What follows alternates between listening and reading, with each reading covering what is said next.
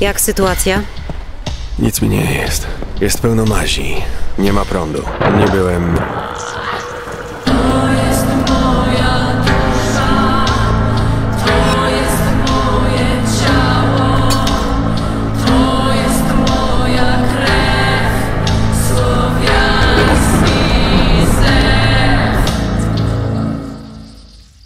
O mój Boże, światła nie działają. I co masz zamiar z tym zrobić? Masz jakiś pomysł? Po raz pierwszy mamusia zostawiła cię samego? Jezus Maria Tomuś! Wystraszyłeś mnie! Rozmawiałeś z... Jest w domu? No przecie ja sąsiadka jestem! A co? Jakby się coś złego działo pod ich nieobecność?